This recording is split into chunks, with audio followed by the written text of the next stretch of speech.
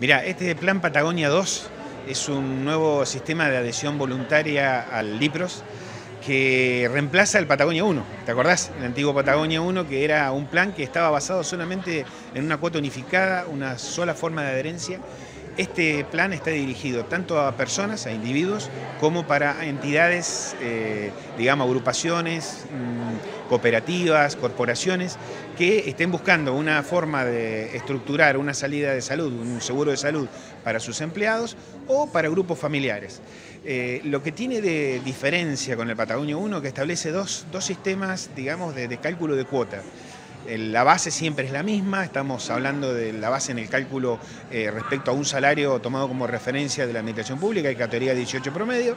pero tiene una escala vertical y horizontal que permite eh, cualificar o cuantificar la,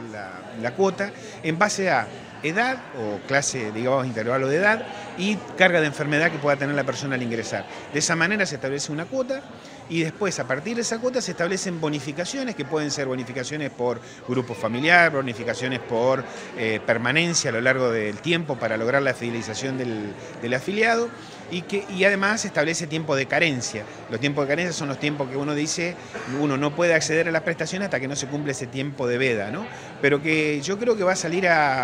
a, este mercado a ocupar un nicho que todavía no se tenía previsto, que es el de una, una obra social, un seguro de salud que esté en el mercado reemplazando a otros que hoy en este momento están viendo que se está desgranando su, su componente, digamos, sus afiliados.